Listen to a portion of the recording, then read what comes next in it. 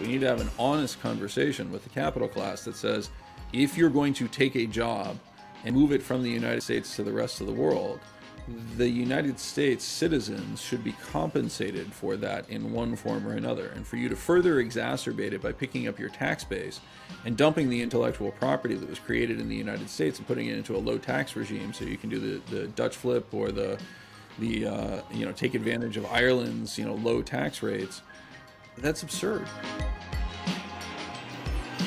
Mr. Mike Green, welcome to On the Margin. Thank you so much for joining us today. Thank you, Michael. I appreciate it. Yeah, of course. Um, so we're going to talk, I think, about a whole bunch of different pretty interesting things on this show. But really, what I'd love to, to kind of start with is kind of U.S.-China relations. Um, and maybe if we could just start from a super high level. Uh, so if you look at the last 50 years of growth uh, from the Chinese perspective, you know, if you kind of look at the the visit that President Richard Nixon made over to China in 1972, China looked very, very different uh, back then. And if you fast forward to today, you know, China is the second biggest economy in the world, uh, arguably the other superpower. How did we get from kind of where China was in 1972 to today? Well, so the primary component is first of all Richard Nixon reaching out. You know, part of the Kissinger real realpolitik dynamic was really designed to, um, you know, further the fracture that had occurred between the Soviet Union and China with the Sino-Soviet War and and dispute following uh, uh, the elevation of Khrushchev, et cetera. Um, hmm you know, it was a decision that was made largely for political convenience. They were struggling um, with need for resources, and for relatively low cost, we could do things like provide them with grain, et cetera, to feed their population. Um, so there was very little interaction and impact for, I would argue, really the first 30 years of that relationship or 20 years of that relationship until China began to emerge as a much more market economy, first under Deng and then really with the inclusion um, into uh, you know the trading relationships that the United States began to develop with China starting in the 1990s. They responded quite aggressively to the North American Trade Pact. That was the initial devaluation of the yuan that occurred in, I believe it was 1994. Um, and from that point, they undercut Mexico as effectively the cheap source of labor, right? right. And once that had occurred, you began to increasingly see the U.S. Um, having won the Cold War effectively. They're no longer being a uh, a military uh, objective in terms of the former Soviet Union and the United States. We began to embrace a much more economic integration with China almost in a weird way. We'll talk about this later, but you know, similar to what happened to the Roman Empire after they had finally defeated Carthage and imported a bunch of slaves. And so it's it's politically terrible way to say it, right? And and about as politically incorrect as you can possibly get.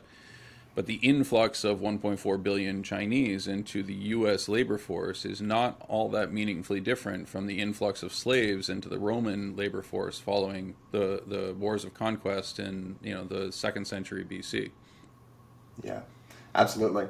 Uh, Carthago delenda est, right? Yeah. I, uh, I get so few uh, opportunities to plug that I was a classics major, so thank you for yeah. giving me that open. I genuinely appreciate it.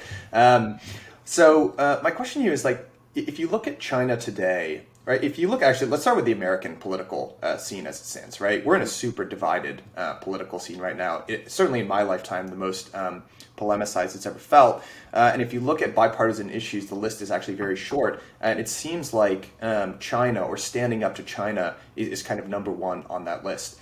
When you look at it from the Chinese um, perspective, what are their major strategic imperatives right now? Like, what is, on a very high level, what is China working towards? Well, the single most important thing from China's perspective, and it goes under the cover of reunification with Taiwan, right? But really, what Taiwan represents is the ability to break that first island chain that is effectively a barrier that prevents China from access to the Pacific Ocean. So most people mm-hmm. look at the at, at, the map of China and they see a country that is, you know, not as large as the United States physically, but significant geographically and it appears to have similar coastline to the United States in terms of access to the Pacific Ocean. Right? It mm-hmm. appears mm. that it should. There's no reason for it not to be a naval-going power. The problem is that China, unlike the west coast of the United States, has significant barrier islands. The most important one being Japan, but then you move down, you got Okinawa, Taiwan, the Philippines, etc., that are controlled by foreign powers and largely dominated by the relationships with the United States those effectively function as a geographical blockade for China's access to deep water facilities. They just mm. don't have the ability to put out a blue water navy in the same way that the U.S. does. We have among the most unreal natural point, ports in the world on the on the U.S. west coast. We also have our own on the east coast. China doesn't have that sort of access, and so the ability when you talk about one belt, one road, and the maritime equivalents associated with it, what they're really talking about is breaking that blockade that is, for better or worse, been in place for about 70 years. Yeah. You, in your great recent interview with uh, Taylor Fravel, you, you kind of actually talked about this reorientation, right? Mm-hmm. And people living in the US, let's say we're not known for our uh, geography, our penchant for geography, right, outside of our very little corner of the world. And there's this great reorientation, right? And it's very similar, it's kind of a callback to that New Yorker, like how a New Yorker sees the world. Yep. And this is how China sees the world. And it's just such a cool reorientation. Yeah, yeah Taylor created that chart. Um, I saw it for the first time back in I think it was 2010, and it is it really is. I encourage people to check that video out. It's available on YouTube. Um, I don't remember exactly where the mark is for that for that video, but it is just a phenomenal way to reorient your mind to understand China's priorities. All you're doing is just taking the fact that the, the map is traditionally oriented to the east, right, which nobody really thinks about what's on their right side. We're not actually set up for great peripheral vision, but the minute you flip that and you're actually the east is now north and you're effectively looking out from China, it becomes very clear that dynamic. Taylor also points out, so Taylor Fravel um, is a professor at MIT, a good friend of mine, and we actually went to high school together and played lacrosse together. Um, so it's a it's coincidence, unintentional, but um, uh, he is one of the foremost thinkers in terms of the geopolitics, in particular the military strategy of the the um, Pacific region. And his point is one that I make as well, which is China is deeply disadvantaged relative to the United States by virtue of the number of borders that it faces. So right. China borders 17 countries, we border two, right? Ignoring you know, if you reach across uh, Alaska where you can see Russia from from Sarah Palin's house, the it, you know that type of dominance of a continent plays into a political sphere harkens back to a political theorist from the 19th early 20th century named Harold Mackinder Mackinder global theory. His focus was on Eurasia and he was correct in, in articulating that Eurasia is a single landmass that functionally is split in a Nash equilibrium, although he didn't know the term, where there's five superpowers that inhabit that world island, and they're hmm. constantly mm. battling with each other for control of the world island. It's an incredibly politically unstable piece, of which the Middle East is one that we typically think of, is just one of those components that has been made dramatically more unstable by the other players, right? So Europe basically conquered it, and then when they were unable to hold it, same manner the United States, they intentionally set it up as a series of warring tribes. But by nature, that is the fifth superpower. We may see that emerge at some point over the next couple of years. Yeah. So when you think about different axes of control that China is attempting to exert influence over, so maybe that's like financial infrastructure, maybe it's technology, maybe it's military, trade influence, whatever. What do you think are the most important axes that they're really working on today? Well, I think the axes that they're really working on are, are, one, there's an incredible disinformation campaign to keep the United States divided and highlight yeah. the differences between ourselves, right? So you, uh, you, you highlighted that we feel very divided. There's not a lot of stuff that's in the common sphere. Um, China appears to be one of those issues, and this is something I've actually worked towards, you know, for the past several years. I'm thrilled to see it develop. But the, the simple reality is actually there's a ton of stuff that's in the common sphere right? Mm. Republicans love their children, Democrats love their children, right? We all want them to be better educated, right? We want them to have better prospects in the future. We want them to have good employment prospects, etc. Now, the problem is that the disagreements on how to achieve that exist, right? I may have a different political philosophy than somebody else. I may think that there's a different approach to that. But you can foment that separation by effectively convincing me that the person that I am negotiating with is being dishonest, right? Yeah. That they are um, not coming to the table with good intentions. And I think more than anything else, that's largely what characterizes the current regime is just that we have begun to doubt each other's intentions, right? The, the, the term straw man or sea lion, et cetera, right? Trolling online. We've become a nation of people who are trying to make other people look silly and expose their ridiculous beliefs rather than trying to find common ground and negotiate in a manner that moves us forward. And I actually think that is one of the primary vectors that China is exploiting. I, I happen to have a reasonable social media presence. I see on a continual basis the Chinese bots come in anytime I try to say, you know, something of, of potential ramifications to China or things that are of interest to China, you'd be shocked at the number of Chinese bots that show up that effectively try to, you know, redirect that conversation, soundbite it, etc. Yeah, I mean, I think we'll we'll get into this when we talk maybe a little bit about about history. And here I was just bragging about being a classics major, and you're going to totally school me on uh, Roman history. But uh, I, I do think, you know, when I think about the biggest challenges that the United States faces today, I think about income inequality. And when you look at previous periods of history of, let's call it disruption, right, to use probably a, a candy coated word, they're almost always preceded by record periods of income inequality. And you know, you can look at that and say, hey, look at the data. This is what tends to happen. But just from a human standpoint, there's only so long, right? The perception of wealth and and just feeling good, it's relevant, right? Um, so I, I don't know. I mean, when you think about vectors, or what are the most important problems that the United States needs to solve today?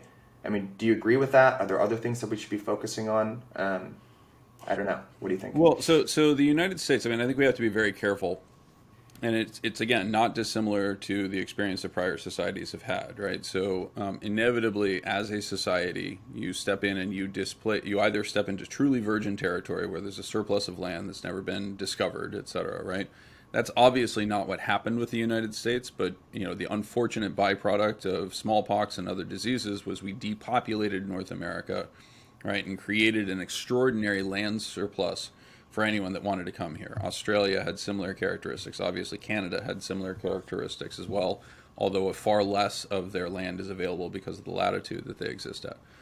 So when you have that type of extraordinary liberating of resources, and and uh, again, I understand politically that is not the right term. It's about as far from politically correct as you can get.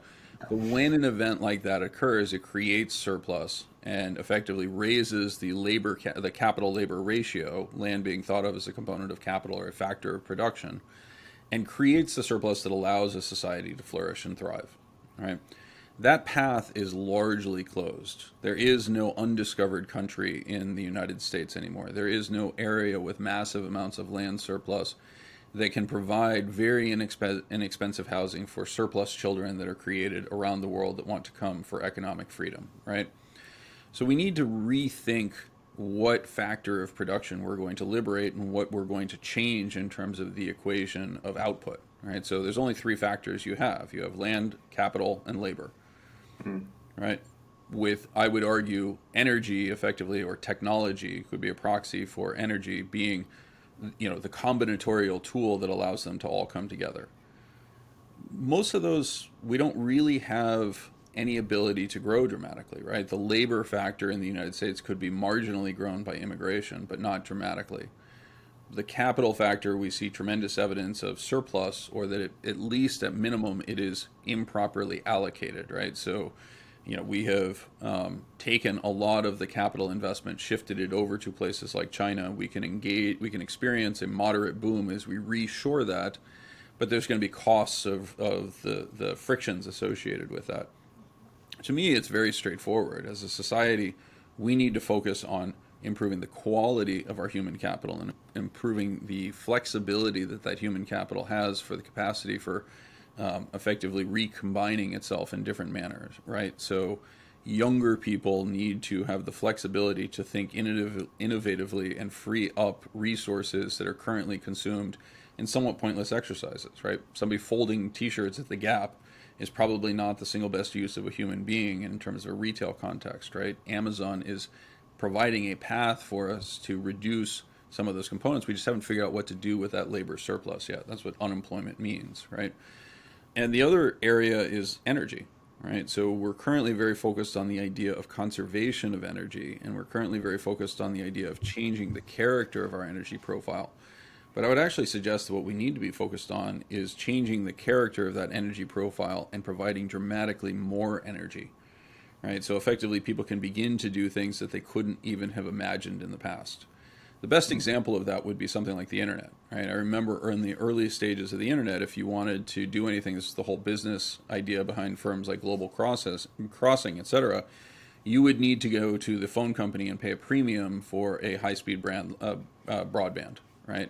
Right. Like $800 per kilobit because it was being priced at a similar level to voice, right? That lowered to $300 per kilobit, which was the model for um, Global Crossing.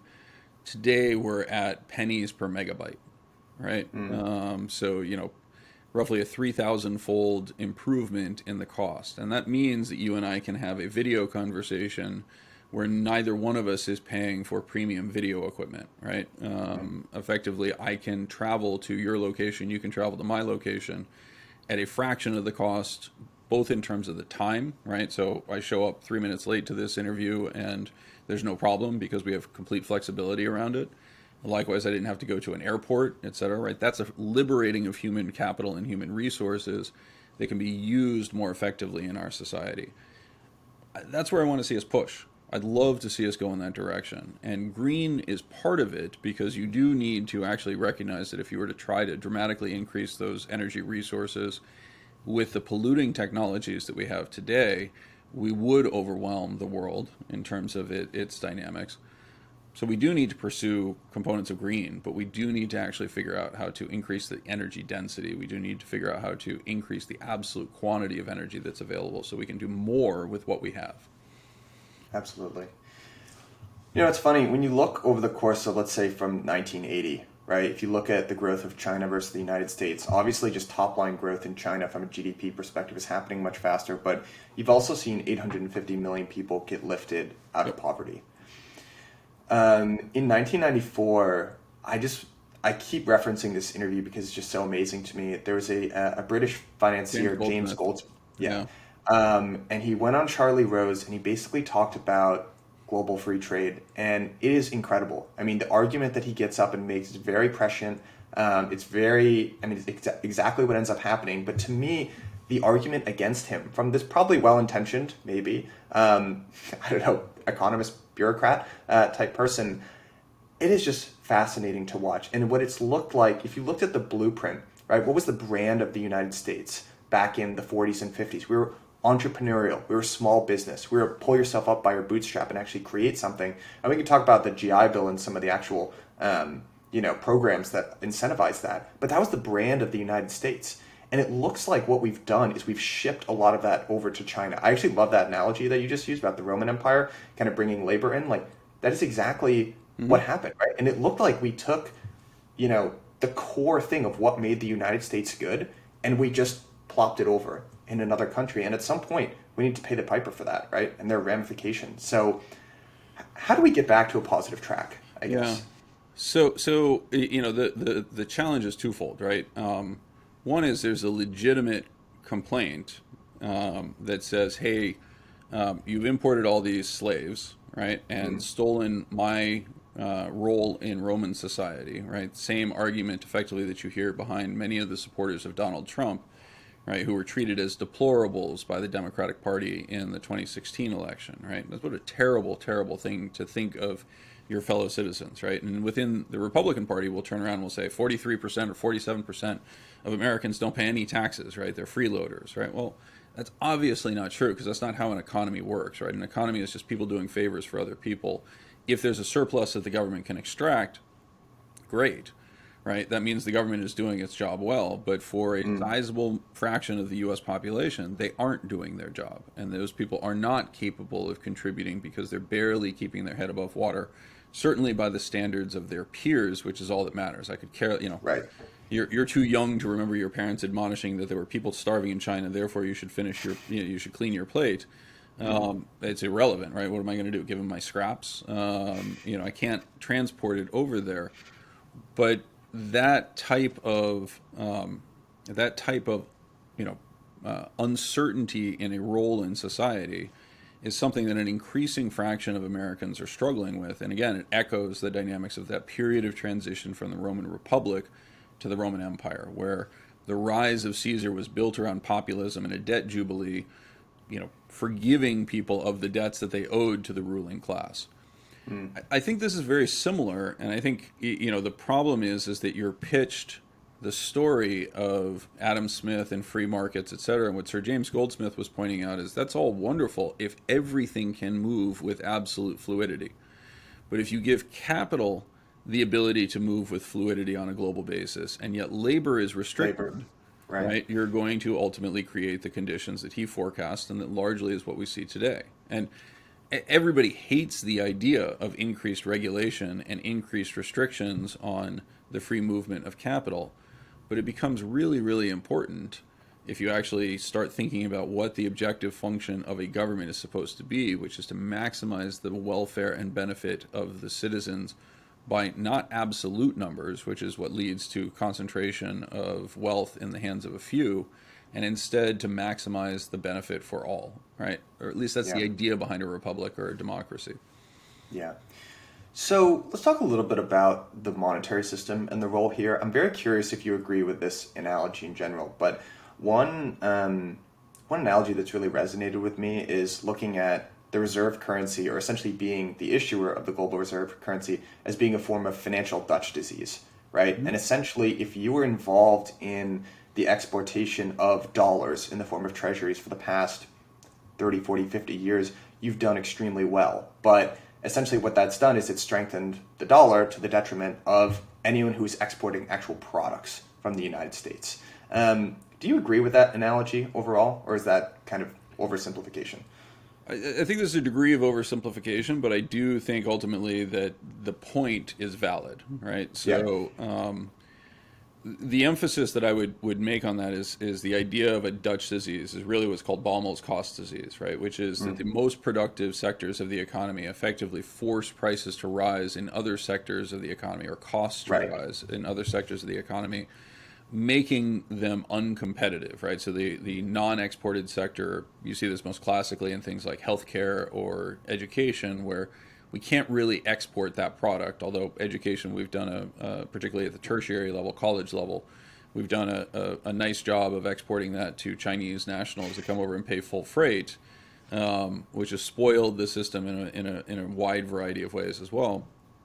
Um, but when you have that type of characteristic, yes, you know, the idea that you have the global reserve currency by definition means that you need to create an umbrella for everybody else, all the supplicants around the world, which is really what they are, and it's offensive, and I understand that, and I apologize in advance at any offense that I've done to it, but that is what it is. They are client states to the United States.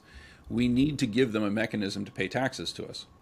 Right? And the taxes that we extract from them, it used to be in the form of, you know, um, they would literally, you know, show up with with wheelbarrows filled with gold that they had raised from their population. Right, that's the tax farmers from the Roman Republic.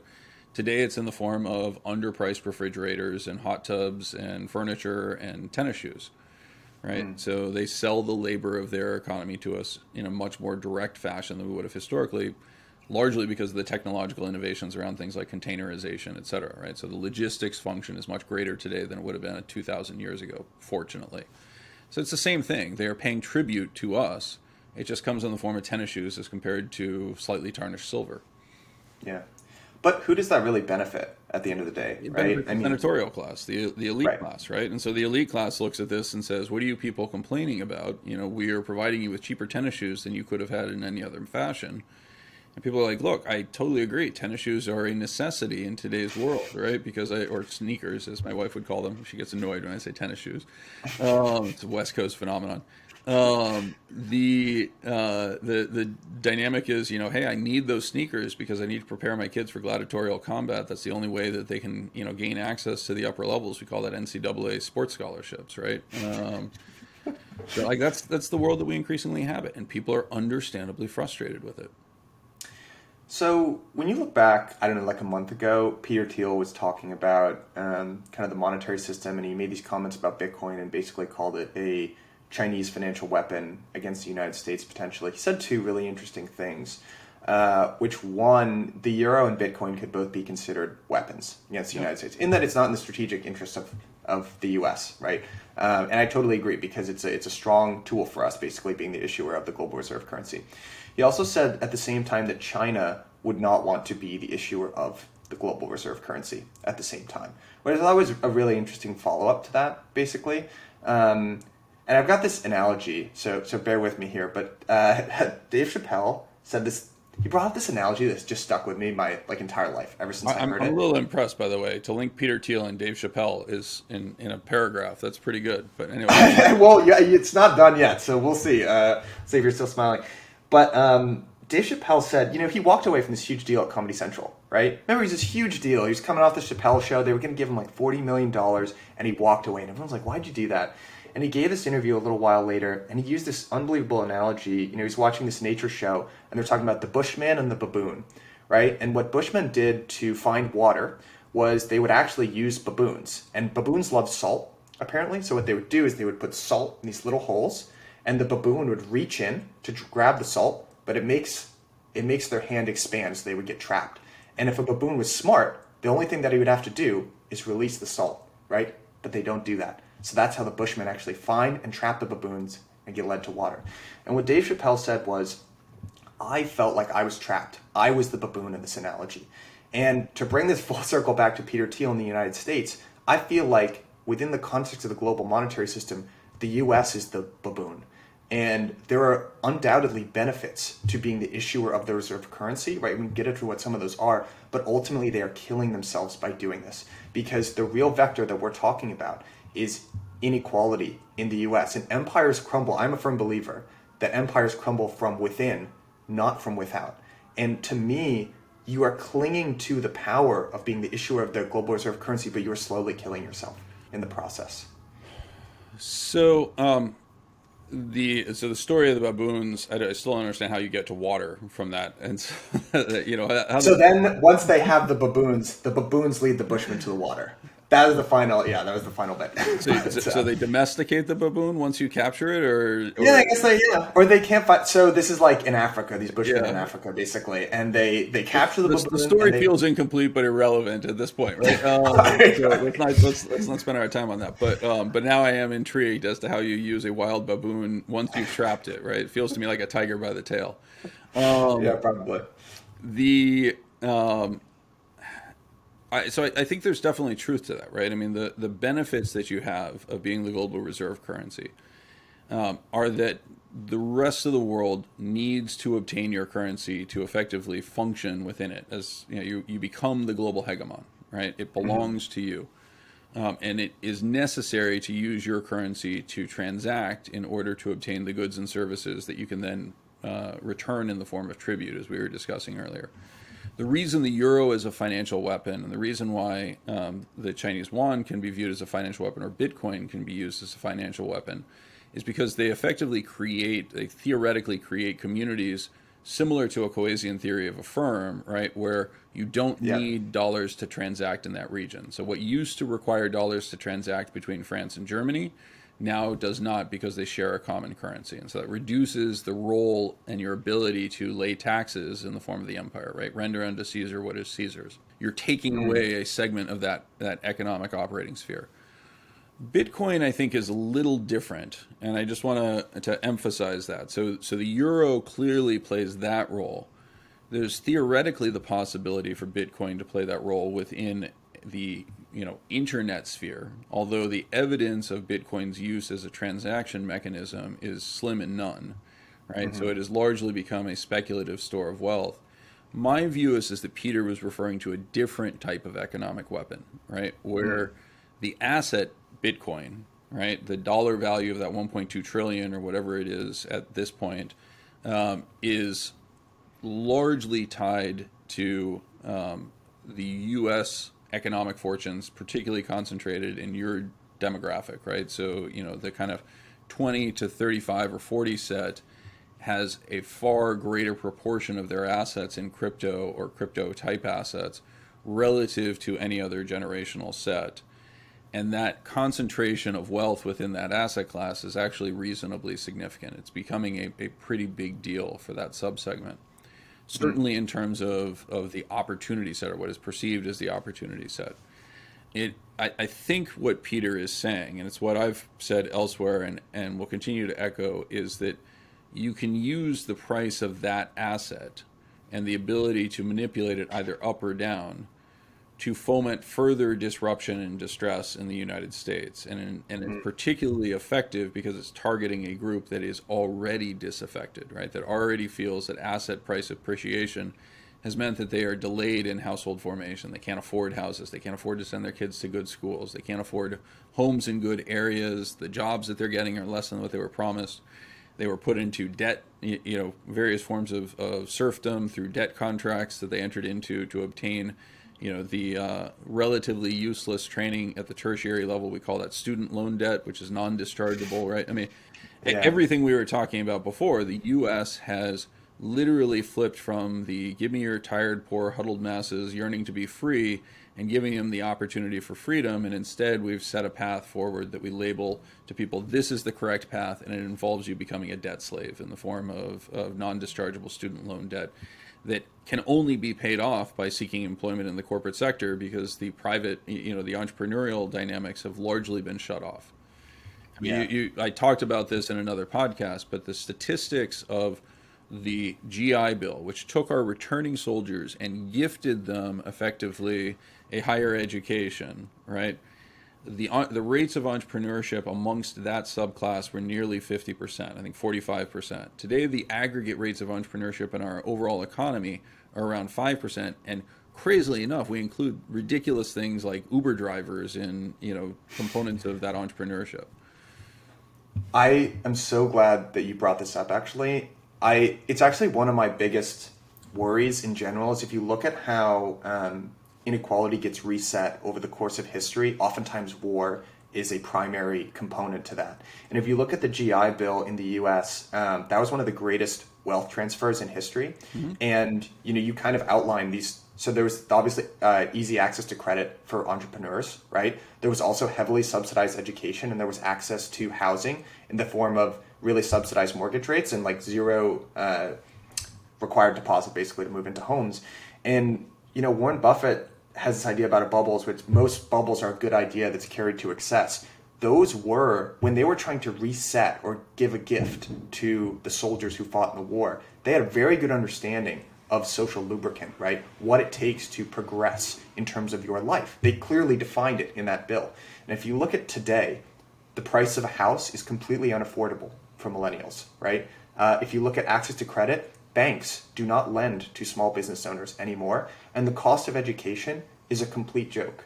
My, so I went to college at Emory University down in Atlanta. When I went, it was a ludicrous sum of money. It was like $68,000 a year. It's $85,000 a year now. That's completely unaffordable. The average salary that someone achieves, a, a college graduate, is $50,000.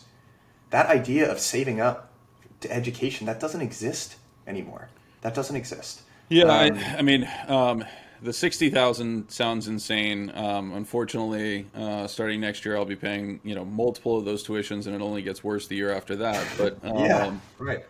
You know, I'm I'm incredibly fortunate that we've been able to you know uh, create the opportunity for our children to avoid that and to avoid the debt. But you know, again, the language that we use, we talk about financial aid offsetting those costs, and included in that financial aid is loans Right? It's debt. Right. That's not aid. Right.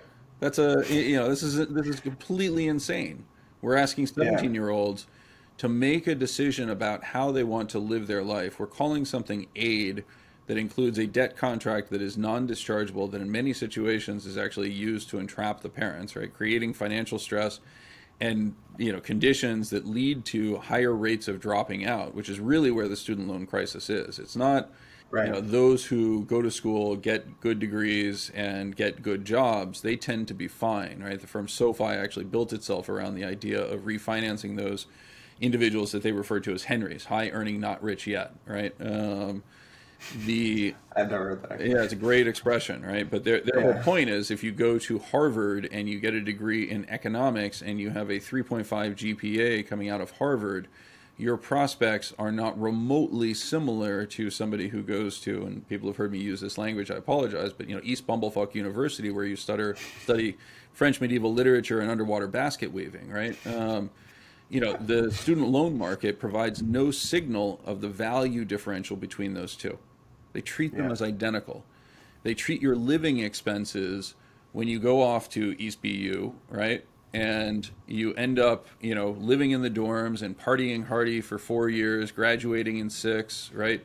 They treat all of that as effectively a deferred investment in human capital, when really what it is is the destruction of brain cells in many situations, right? Through mm. excessive alcohol and and uh, drug consumption, right? It's a socialization exercise that's akin to sending your kid on a world tour you know, uh, the grand tour that was reserved for the elites, you know, in the 19th century and was basically a way to say, you know, go off and waste some of the family money while becoming, you know, um, slightly more mature in the process, right? We're doing that with all of our children, most of whom lack the mentorship from either a family that has attended multiple, you know, generations of college or has a degree of entrepreneurship and is able to say, look, this is how the business world actually works.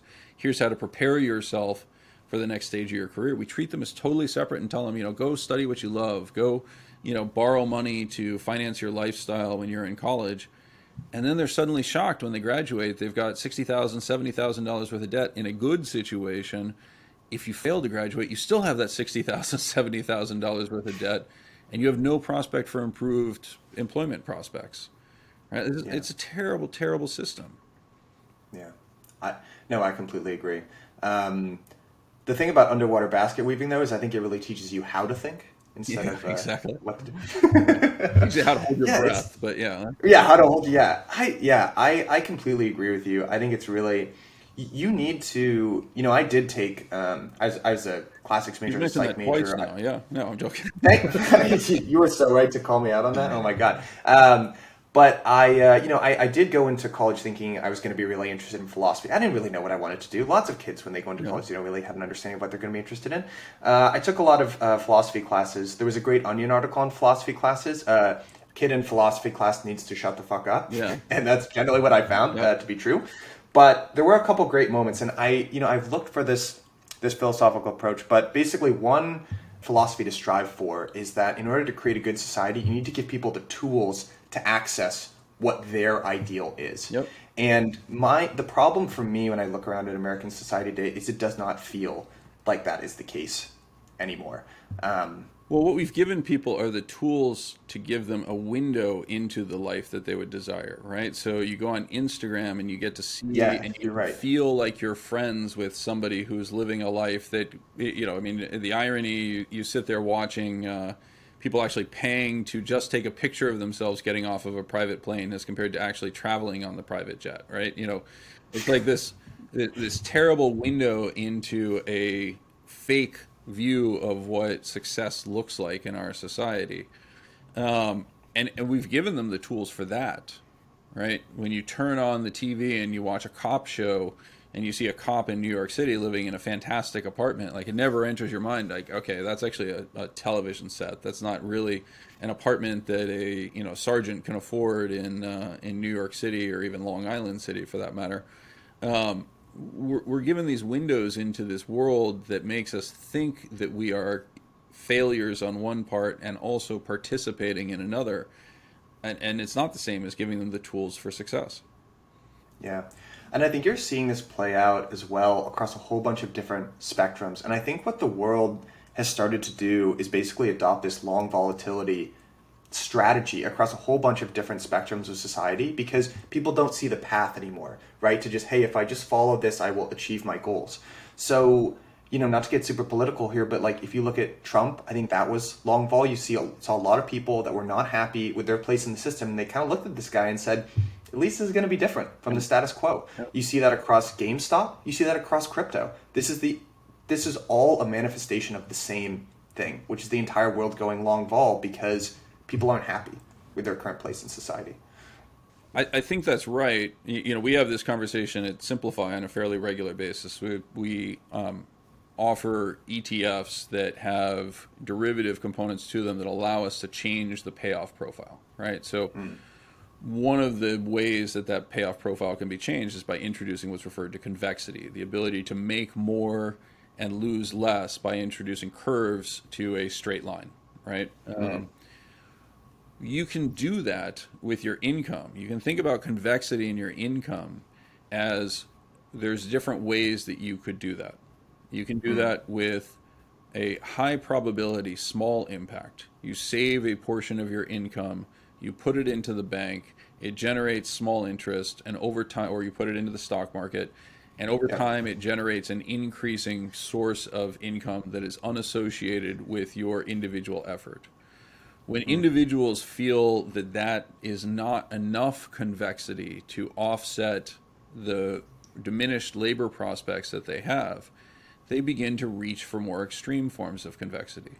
Right? At the most extreme form, I can introduce incredible convexity to my income stream by taking a fraction of my earnings every two week pay period and deploying it into the California Mega Millions lottery. Right? Now, right. the, the prospect of realization of that is very, very low. Right? The mm. idea, the frequency with which that will succeed is low. But in a world in which there's an unlimited number of observations, right, somebody is going to show incredible convexity to their income because they've won the lottery. That, in my opinion, that frustration, that you know, borderline nihilism of the only possible way for me to improve my situation is by engaging in an activity that has extreme convexity to it. Right? That is a reflection of the desperation that people see. Yeah. Yeah. I completely agree. Um, and you can see that honestly with something like Dogecoin. Yeah. Um, I, yeah. I, mean, I also just think there's an element of nihilism to it too, right? Which is the same thing that causes people when they're rioting to burn their own neighborhoods, right? You know, it's just there, there and, and I do think that we are approaching this point where it's you know an element of you know burn baby burn sort of thing, just losing yeah. control of the underlying emotional content. Um, it's, you know, again, you know, one, one of my, my wife's many complaints against me is that I, I tend to have low emotional content and reaction to stuff. I think that works well in an in, in an investment framework, but people are understandably frustrated and a little panicked by the future. And when you feel that you know, your cortisol levels are rising, when your stress is rising, right, you lash out and try just to do something different. I think you, you nailed the phenomenon of, of Donald Trump almost perfectly. Drain the swamp right? I mean, do you put a swamp creature in to drain the swamp? No, you put somebody in who you think has no ties to that insider component. And that lack of ties to the insider component, I think, contributed to the ineffectiveness of the Trump administration. Effectively, you know, nobody wanted to work with him within the system. Whether his policies were good or bad became irrelevant under those conditions. I, I would suggest we flipped that this time around where now we have the ultimate insider in the form of Joe Biden, who on an individual basis is extremely ineffectual to the point that nobody's really seen him in his first hundred days. But bizarrely, the systems of governance are now working better because people are, by and large, saying we don't have this outside influence that we have to contend with. We're just going to get busy doing what we want to do. Yeah. When you look at so I know you're a, a, fourth turning guy. For me, when I look at a lot of what's happening in the world right now, you look at people are abandoning institutions across a whole bunch of different levels, right? There's a record mistrust just in terms of government. Uh, we've been talking about that a little bit. Um, there's a mistrust in the banking system, right? And you can look at Bitcoin and say it's a positive or a negative, but to me, that's an ultimate expression of mistrust in the banking system. There's a mistrust in media, and there's a mistrust in the educational system. And I think what you're just seeing is people rejecting and, and opting out. And on the one hand, maybe you could spin that as being something positive, right? Um, but it's also it's really concerning for me. It's just concerning. I, I look around and I see like those periods. Let's call them transition periods. So I'll give you two examples, and maybe we can get into history here a little bit. Um, but there's a great book lessons of history. Really, really short. It's like 120 pages um, of some really great succinct lessons across history. Um, and there's this one paragraph, uh, you know, coming from ancient Greece, uh, where there's basically, you know, again, record income inequality. They talk about bringing in this King Solon, and basically they introduce a lot of what we're seeing today, right? There's reforms in terms of taxation, um, all this other kind of stuff to basically redistribute wealth. And that actually avoids a lot of major conflict at that time in other periods of time, you could look at ancient Rome, and you could. Uh, I know you want maybe want to start a little bit earlier than what I was talking about, but I was actually talking about the eventual decline of the Western Roman Empire in the third century, um, where you saw a lot of what we're seeing today. You saw debasement of the coinage, you saw more intervention of government, you saw uh, corrupt and inept bureaucracy, and eventually that kind of ended up taking down the entire system. Uh, and that devolved in, in civil war and the eventual capitulation of a centuries old empire. So, this is my long rambling way of saying these transit these transitions in history are often not times that you want to live through. And to me, I guess I, the only point here is I look out and I'm just a little concerned with what I'm. Well, so so again, I always try to reorient people to a much earlier time period, right? So I, I, right. I think the analogy of the fall of the empire is is probably wrong, right? Mm-hmm. Um, if we are truly an empire, we are the most you know munificent and beneficial empire the world has ever seen, and I understand yeah. again people will take offense at that, but it just doesn't match with what I see, right? Um, I, am much more concerned about the potential loss of the republic and the idea that our governing institutions are increasingly ineffectual. You mentioned the, the Greek example, right? King Solomon was brought on um, at the end of democracy, right? Because we yeah. recognize that the the you know uh, representative forms of government were not working effectively. They did not have good tools to stand against corruption. The United States is one of the exceptions in history where a um, executive uh, was given the opportunity to conduct a, a, coup against a democratic system. George Washington could have become the new king of America had he wanted to, and chose to not do that. They chose to make the sacrifices at the elite level rather than saying and and there you know the the dynamics of of the founding fathers documents you know Madison's an excess of democracy et cetera are very clear that they understood there was a balance between the will of the mob and the the overarching power of an individual executive, right? Which we just call a king or a dictator or whatever, right? Right. You know, my sense is is that we are probably going to end up making a similar choice because we are so divided, because we are incapable of making collective decisions and advancing the center of the agenda, right? The things like I love my kid, you love your kid, sort of stuff. Right. Let's all make sure that they're better off we're finding ourselves incapable of advancing the center of that agenda, that's typically where a dictator or a king comes in, right? I'm going to make the hard choices. I'm going to decide who's going to sacrifice and who's going to be um, appropriately raised up, who's going to be brought down to a certain extent to facilitate this. You see this within the oligarch system in, in Russia, right? I mean, the oligarch mm-hmm. system had gotten out of control. They elevate Putin to be effectively emperor right? And so you know that creates a check on the oligarchs. Um, we're there's a lot of risk that we're headed towards that path, right? The the lack of influence that the standard U.S. citizen has on the oligarchs as we have them in our society today leads to a feeling of abandonment. And so, you know, there can be all sorts of giving pledges and I'm going to give away half my wealth, et cetera, and, you know, blah, blah, blah we treat it with a degree of cynicism that we would have the same gifts from Crassus uh, in the Roman era, right? Where it's right. you know not good enough, guys. You you know ultimately you're going to have to make much much much bigger sacrifices. And this is one of the messages that I try to convey to people is just that you know unless we start working towards that dynamic, the social war type, type dynamic of the Roman uh, Republic transition to empire, we're going to end up in the same place. Yeah. Can you take people for those who might uh, not be as familiar with that transition, that tra- that particular transition period in history? Talk. What was the scene back then? Like, what, what were some of the the lead ups to that eventual transition? Well, like like the United I mean, so first of all, I just want to emphasize that history tends to rhyme, not repeat, right? And right. so there are patterns of history that are very very similar. Rome, like the United States, gained control of effectively an island or a very well defensible peninsula in the form of the Italian peninsula that gave them a base of operations from which to launch you know all sorts of activities around the Mediterranean. You know, so it, again, going back to the analogy I raised with China and the United States Rome had very few physical neighbors that it had to continually contend with. The Alps created a geographical barrier that you know, Hannibal was able to, to uh, surmount, but the resources required to mount an attack on Rome were so significant that it was effectively a defensible base of operations. Same thing that the United States has today. The rest of the Mediterranean had all sorts of competitors that they were they were forced to deal with, right?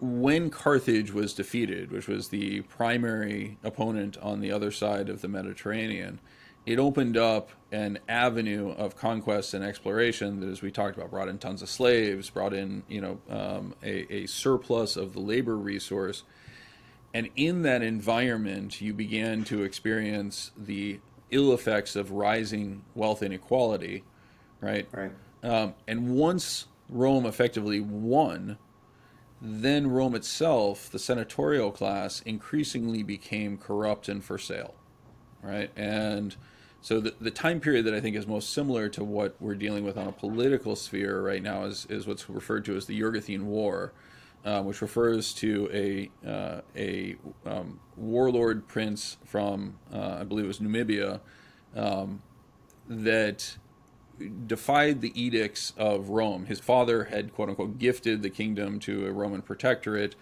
Rome declared, okay, you and your two brothers are going to get along and split up this kingdom. And for Jugurtha, that wasn't a, that wasn't acceptable. He immediately killed off one of his brothers, began war against another. His remaining brother, you know, uh, went to the Senate and said, you know, hey, you know, this is being done in defiance of, of your edicts.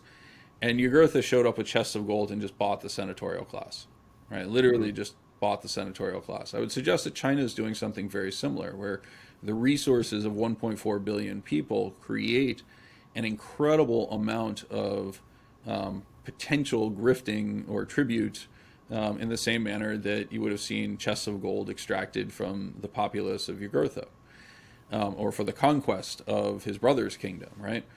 Those sorts of dynamics create the potential for corruption in a way that that um, nobody really thinks of it in that manner, right? It's not like I'm intentionally doing the bidding of China and therefore I'm, right. you know, uh, acting against the interests of the United States. I doubt there's a single senator or congressperson or even lobbyist for that matter that is actively saying, "Boy, I'm really excited to engage in seditious behavior," right? Um, but it's the effect of paying somebody for a consulting relationship, right? It's you know help America understand our interests. You know, help America understand why this is um, a good thing, right? And we see that with the Confucius Institute. We see that in a variety of other manners where a sizable fraction of research in the United States, particularly in the social sciences, is actually being influenced in one form or another by foreign money.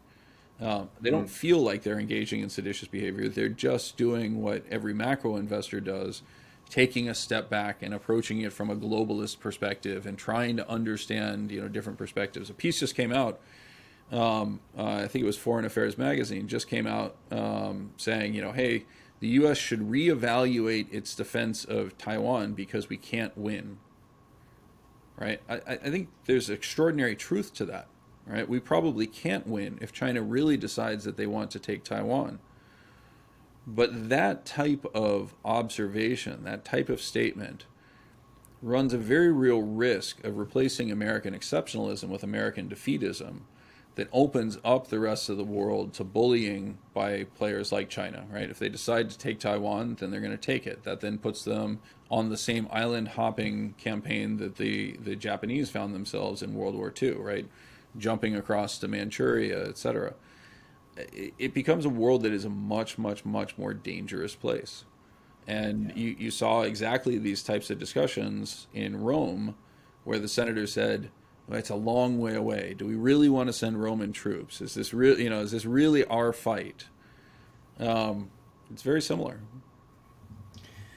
So, help help me like think this through. I genuinely don't have an answer. I'm just I'm just asking this question because I don't know when you look at various uh, periods of peace, right? There's like the Pax Romana, yep. right? And that and the reason for that structure is because there's a such a dominant military power that essentially no one challenged them. Then there was the Pax Britannica, right? And then there's the we're arguably in in or perhaps nearing the end of the Pax Americana. Mm-hmm. So on the one hand, you know, we've talked about how empires tend to actually crumble from internal purposes, but at the same time, they tend to get blamed on external reasons. Um, and so I'm curious from your standpoint, like where I see the world going is that there are a lot of structural problems with the economy, and people don't have a good understanding of the, the point of having an economy and raising people up and, the, and to use your language, maximizing the value of each person. That's an internal United States based structural problem. But I feel like we're going to end up blaming China there what's the way out of this? Is I mean, should we kind of unite and say, hey, we want to maintain this dominant position to essentially usher in and, and oversee world peace, or are we just near the end of that period? So I, I, tend to lean towards the view, and this again goes back to my analogy of the Roman Republic as compared to the Roman Empire. I, I think that we are actually at the start of that transition, and that if I if I fast forward 200 years from now, my expectation is is that the United States could actually be significantly more dominant on the global stage than it is today. I think it's almost implausible that China plays a significant role. Um, the oh, interesting. Okay. The the you know, when you think about what I referred to before as the factors of production, right? Land, labor, energy, um, uh, and capital. China is structurally short of all of those, mm. right? Um, and they have degraded the quality of their land in their attempt to rapidly deploy their surplus labor that existed, as you pointed out, in 1972 and really accelerated in 1994 you know right. their desire to increase the energy component um, of the economy to facilitate the greater combinatorial factors has left their population facing an incredibly polluted landscape, et cetera. Right. Uh, the labor has effectively voted and looked at the world that exists within China and said, we don't actually think there's the possibility of succeeding within this system, right? Mm. Um, when you this is an argument that I had uh, you know back around the global financial crisis when the argument was China is the future look at the investments that they make in their children. They spend 40% of their household income educating their children. In the United States we spend 40% on alcohol cigarettes beer and various forms of drugs right? Obviously that's not true and it's an overstatement. I just want to emphasize that. Um, the problem with spending 40% of your household income on educating your children is how many children can you have? Right. One, right? You can have one because otherwise you're going to be spending 80%, which leaves nothing for yourself. And what happens to your individual standard of living if you choose to check out of that system and not have children? Well, that's 40% of your income that's now freed up for you to live your life how you would like to. And so what we've seen is the very predictable outcome that Chinese birth rates have collapsed. And broadly, we're seeing this around the world for similar but not quite as extreme reasons. To the point the Chinese graduating high school classes are now somewhere in the neighborhood of 40 to 45% smaller than they were 25 years ago. That's going to create an incredible labor crunch that has an impact on two fronts. One is the productive capability, the factors of production dynamic again. And the second component is in the domestic aggregate demand, right? Because if I shrink the population by half, which is effectively what you're talking about doing over the next hundred years, and this is happening far more rapidly than any form of demography forecast would have had because those all assume renormalization to replacement rate population going forward. Um, you're basically saying there's no way for me to grow the domestic consumption story. And that then mm. forces China into a situation where the only path for growth is to capture an increasing share of what's happening around the world. Right? Their export has to continue to grow as a fraction factor of their economy it just can't happen. The rest of the world is inevitably going to rise up against that model, right? Mm-hmm. And and they are a variant of the world reserve currency where they have to actually figure out things for a shrinking population to do. It's very similar to the problems that Japan had on its population dynamics. It creates the conditions of disinflationary characteristics, et cetera. It creates conditions in which people feel less vested in a society's future. If you don't have children, you feel far less vested, right? So all, all of these are issues that China has that I don't think they have a good answer for other than increased authoritarianism and penalties associated with failing to participate in one form or another. Um, the United States has the potential to continue to grow. And while I complain about the lack of resources that are available, the relative sourcing of resources for the US population versus the rest of the world is actually remarkable, right? We we have an energy surplus even in the fossil fuels category. That's before we begin to tap into the sizable quantities of nuclear, et cetera, geothermal that exist within the United States. Um, and we also have a, a, a, currently growing population, both domestically and in terms of, of immigration. Uh, that's a far more robust system. And my guess is hmm. we're going to see an increasing fraction of the narrative around the idea that China is going to bend towards the United States, but then pull away um, in the opposite direction, fall away. Is, this is what I'm actually looking for. They're never, in my analysis, going to replace the United States. I think that they know that, which is part of the reasons that such a sizable fraction of the resources that they're spending are actually designed to cause the United States to fragment. Right? If you want to beat the United States, the only thing you can do is convince the citizens of the United States that we are an inherently immoral and evil society that should be fractured, right? Um, and I think they're doing a pretty good job of convincing Yeah. many parts of the U.S. population that that's the case. I don't think it's true. I don't think we're any less moral than any other society. I think we're much more moral than many other societies. And on net, the flexibility and freedom of the United States has been a, a positive for the world. But I think right now we're distracted and not feeling that, right? Um, it's one of the things I try to encourage people to turn on to is the potential. There's an incredible amount of potential. We're not doing a good job of capturing it. Yeah. So let's talk like pragmatically here for a second. Let's say you, um, in a totally hypothetical scenario, you were the empire or dictator of the United States. What are some of the changes that you would make? Right? How, how do we how do we regain what it seems like we've at least temporarily lost? Well, I think the, the single biggest component is actually focusing on the dynamics that you're talking about, which is equality of opportunity, right? And not Right. giving children, um, particularly those in the lower class, a status effectively as debt slaves, right? Um, we need to recommit to educating and developing our human capital. We need to raise Yeah. the resources that are available to our children. And that can be done in two ways. It can be done through efficiency, right? And it can be done through increased dollars going to it. When you talk about a transition from a republic to an empire, what you're really talking about is not changing um, the resources that are provided to the government system, but making them inherently more efficient, collapsing the discussion around, well, what are all the competing components to no, the king gets to make the choice, right? That's a way of introducing efficiency into a system um, and as a society, I think that that's unfortunately, again, why I'm very worried we're heading in that direction. We're going to sacrifice the freedom for the efficiency because we can't contribute 50 plus percent of our economy to the functioning of the government, right? This is part of the reason I look with skepticism on the idea of, of you know, people convinced that we have MMT, modern, modern monetary theory, you know, adherents running the show.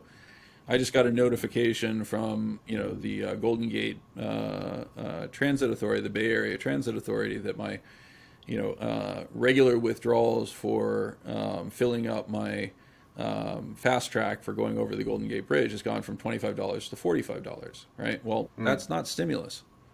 Right. That's austerity. Right. We're seeing the Biden administration propose a dramatic increase in taxes. Whether those are good taxes or bad taxes, meaning are they redistributive in the manner that we talk about, remains for debate. But we're talking about increasing austerity, to having the government try to take more, increasing the taxation rates.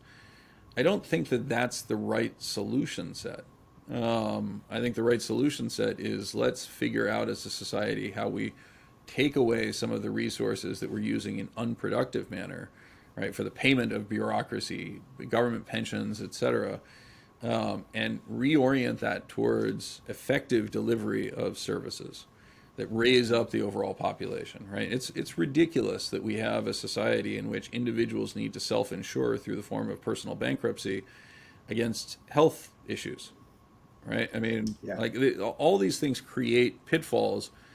There's a the, uh, the great line from the the TV series Game of Thrones, right? Which is chaos is a ladder, right? Again, chaos is a ladder. If you fall off that ladder and are no longer able to climb, then you are useless as a form of human capital, right? And, and I say that with intentional severity because that's how we treat people, right? Pull yourself up by your bootstraps, but if you fall, it's just not your cup of tea, man. Sorry. Yeah, that's a.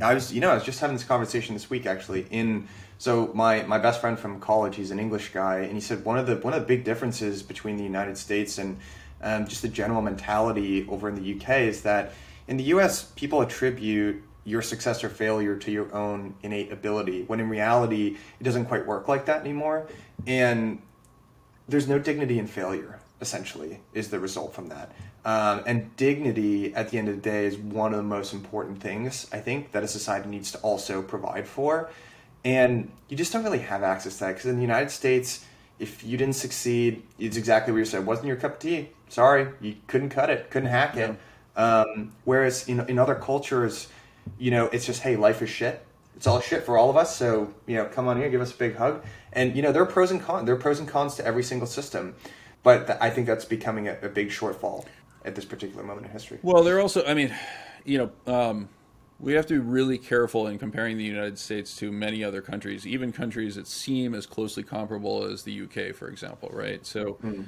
the heterogeneity of the US population is extraordinary on the global stage. So in the United mm. States, we talk realistically about the Caucasian population ceasing to be the majority, right? Within the younger demographics, that's already the case we have a relatively stable fraction that is is um, of different types of minorities and some that are growing quite rapidly, right? But the heterogeneity in terms of phenotype, skin color, eye color, um, uh, uh, geographic background, et cetera, is unparalleled around the world, right? If you look at mm-hmm. Australia, for example, which you know many think of as, as, as a peer, the concentration of the white population is dramatically higher than it is in the United States. The concentration of people with an English background versus other backgrounds is dramatically higher. In Canada, you know, much as, as diverse as Canada is, particularly within its immigration policies, it is much less diverse as an actual underlying population. And the UK is nowhere close to what the United States is. Part of the challenge is that that actually creates the potential for fractious victimization politics, right? You know, well, I I'm not succeeding, the system's not working for me because it's inherently set up against me. Like any stereotype or any you know type of, of statement of that, there has to be an element of truth that allows people to buy into that, right? But I don't think that the right answer is, hey, it's it's all shit. Let's all you know give it go in for a group hug. Yeah. Right. Um, I would say that is a very English, you know, stiff upper lip. You know, it's all shit. You know, but we gotta we gotta proceed going on. I, I hope for better from the United States, which is to say, you know, look, the opportunity is there for us to improve things dramatically, but we need to have honest conversations about this stuff. We need to have an honest conversation with the capital class that says, and you're beginning to see this language. I applaud it coming from from the Biden administration, but if you're going to take a job and move it from the United States to the rest of the world the United States citizens should be compensated for that in one form or another. And for you to further exacerbate it by picking up your tax base and dumping the intellectual property that was created in the United States and putting it into a low tax regime so you can do the, the Dutch flip or the the uh, you know take advantage of Ireland's you know low tax rates, that's absurd, right? It's completely absurd. I mean, a, a company like Apple, which has remarkable innovations in technology. And again, Peter Thiel is on record saying that it's anti-innovation, which there's a lot of truth to, and you create a walled garden, et cetera, right? But a company like Apple that actively engaged in um, wage suppression and um, limitations on recruiting its employees, um, you know, with Google and Facebook and others, right? They paid a $640 million fine. Right? That's SOFA mm. change to Apple, and they it, it, they admitted to the fact that they actively engaged in wage suppression for their employees. Uh, like that's insane to me.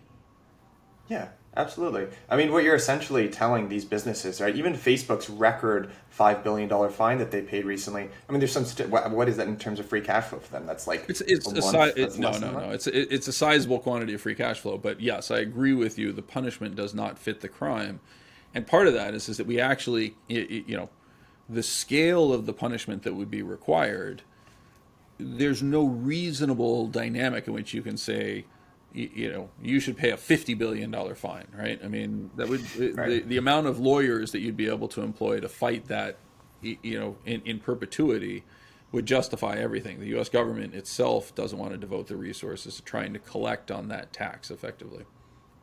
Right. Yeah create some weird incentives for sure. Um, Mike, you've already been super generous uh, with your time here. Uh, we probably devoted less time to China than I thought. Yeah, it no, it's, well, it's, it, it, the problem is, is it's an integrative problem, right? So I China agree. is yeah. exploiting the issues that exist within our society to give the perception that the United States is, you know, no more moral than China is, right? It's just a, an untrue statement. Um, mm-hmm. But it is exploitable because people can constantly do the whataboutism dynamic, right? You know, well, how can we point to China when the U.S. treated its Native American population so badly? Well, okay, yes, you can make arguments around those, but that doesn't actually make what China is doing today good. And what the United mm-hmm. States is trying to accomplish today in terms of addressing the issues of inequality, et cetera, I, am actually hopeful that we're going to make some progress on that. Um, but you know, it's a choice, and we don't know which yeah. way it's going to play out. Yeah. What just to end on more, more of a hopeful note, actually, what are some of the things that you look around and see that makes you optimistic? What do, what do you kind of look at the macro landscape, stuff that's coming out from the gut, whatever it is? What, what makes you hopeful, I guess, about the future? Well, one of my best friends is, is a VC named Josh Wolfe, right? And so if, if you, oh, you Google, yeah, you know, Mike Green, Josh Wolfe, you'll see any number of conversations that the two of us have. Um, you, you know, the point that I would make is is that um, all of the concerns are fundamentally short human innovation. And the reason you kick the can down the road and you don't engage in the Andrew Mellon liquidate stocks, liquidate labor, et cetera, sort of framework that you know was perceived as the quote unquote right answer to the global financial crisis, or you know, et cetera, um, or the Great Depression, right? You know, if we just allowed the system to fail, we could have rebuilt it, right? The reason you don't do that is because that causes disruptive patterns to human innovation. It effectively creates a fracture or a break in, in a system. People innovate and create new ideas in stability, right? You can't spend time thinking about, okay, how do I um, create an automobile when you're trying to feed your family on a you know day-to-day basis, right? It requires surplus to sit there and do that. Um, what I'm hopeful for is that we're going to kick the can down the road with a degree of stability until that innovation is able to push us into a remarkably more productive formulation, right? Where we can take the exact same pieces, the radical material prosperity that we have, right? So, I mean, again, remember that, you know, 10,000 years ago, your ancestors would have been desperate to get a few grains of wheat to effectively create, you know, a rough bread right. to feed their family. And now we're really incensed that the price of filet mignon has risen relative to a base case, right? Um, we have a degree of surplus that we can use to continue to smooth the path. But if we decide to take that surplus and use it in either a um, parasitic way where it's being stripped off to pad the nests of the extreme elite, or if it's being used to um, raise the standard of living without any investment for the rest of the population, then we'll continue to spiral down to the point of crisis. But I, I'm optimistic that among the other things that coronavirus might have woken up is some awareness of the costs of our actions on the younger generation and some element of commitment to beginning to make those investments and improve those prospects. I'm, I'm hopeful on that. It's it's stochastic. It's unknowable whether we'll continue down that path. I would suggest I see it in California. Right, one of the reasons why the public sector rapidly got its act together again, got kids back in school, was they could feel the parent revolt coming right? Like mm-hmm. they were going to replace all the the school board, you know, members. They were going to replace, you know, many of the dynamics that have led to stasis. They may have stepped in in time to stop that that that purge, but we as citizens, I, I would hope that we become vigilant and demand better. Yeah, absolutely. Well, you know, we might not have talked that much about China, but uh, it was a good conversation because I got to mention that as a classic mayor twice. Now it's there three times. I was going for the hat trick. Now I am done. Now I'm done. I promise. Um, I want to give you a chance though to plug uh, Simplify because you know whenever I think Mike Green in my head, I think Logica Fund. So tell yeah. me a little bit about this transition. well, so Logica was a was a um, uh, was was a short stint um, where you know I had recognized that my views around the impact of passive create conditions under which derivatives are mispriced. Right. So when you mm. change the market structure increasingly away from the efficient market hypothesis or the characteristics of an efficient market by introducing a dominant player in the form of passive that just has a different rule set and therefore the market behaves in a different fashion, it creates the opportunity to exploit that. If I went back 12 months ago, the only way to do that was within the hedge fund framework. In September, October of last year, there was a regulatory change that now means that ETFs can actually incorporate derivative strategies, um, option type strategies that couldn't be done before. And so um, the opportunity to transition into the ETF space, taking advantage of that superior ability to express derivatives that exists within the ETF space, has opened up a much bigger opportunity. It's not simply one of taking advantage of this within the hedge fund framework, but it's actually about offering people superior vehicles at extraordinarily reasonable prices, right? So, you know, mm. hedge fund is one and a half and 15. At Simplify, our products are offered at 28 basis points with payoff structures that are radically different than, than anything else that's available in the market. I can use derivative structures to change the performance of an ETF an S&P ETF, I can give the upside without the downside characteristics. There's obviously costs associated with that. You get a different payout with some components to it. But because of my views on the dynamics of, of the influence of passive, I actually think we're buying these options. I think that the opportunity exists to buy these options at less than fair value. They provide resources that I think allow me to offset that and create a net really powerful vehicle. Combine that with some of the inherent efficiencies that ETFs have um, on the tax side, and I think we re- we really have the capability of offering what I referred what are referred to as dominant portfolios. They're just better structures. Um, it's just a much much bigger opportunity, and it's one that I, am incredibly excited to to help go out and, and offer to the investment public. Absolutely, it sounds like really exciting stuff. Um, if people want to figure out more about or getting involved in Simplify, I guess, or speaking to you? Like, what's the best way to do that? So, for most people, um, the the way that you would access Simplify is simply through because we offer ETFs, right? Um, you can literally just go to your broker.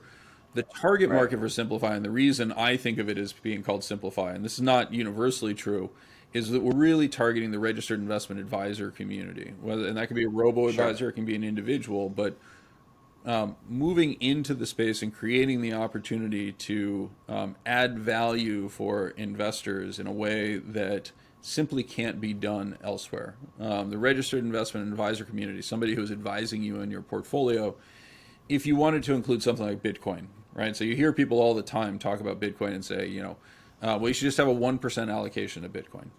Well, how is your you know, how is your financial advisor supposed to maintain a 1% allocation in your portfolio, right? To something that has an 80% volatility, right? So it bounces all over the place. The amount of time right. they have to spend managing that position is greater than they would on the rest of the portfolio, And so it's just impractical, right? So we're introducing a product that facilitates an appropriate level of uh, diversification into products like crypto um, we also are introducing products that can replace the core of your portfolio, so it's effectively a pre-hedged S&P 500.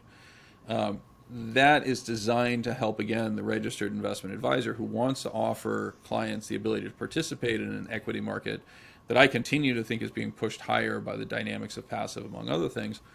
But when you have that type of product and people somebody wants to hedge it, again, you're running into this problem of it is a very complex, high volatility sub portion of the portfolio that's typically 1% to 2% of the assets. It's just not practical to expect an RIA to be able to offer that. And so we're stepping into a, you know, what I would describe as a quote unquote niche that actually becomes a core portion of portfolios. And for the first time, in my opinion, creates actually a, a very real prospect of competing with the Vanguards and BlackRocks of the world. Yeah absolutely. Um, well, look, Mike, thanks so much for telling us a little bit about what you do and, and giving us a lot of. I mean, you certainly given me a, a lot to a lot to think about here. Um, and this was a lot of fun. We'll have to do it Michael, again. I enjoyed it. It's always fun talking.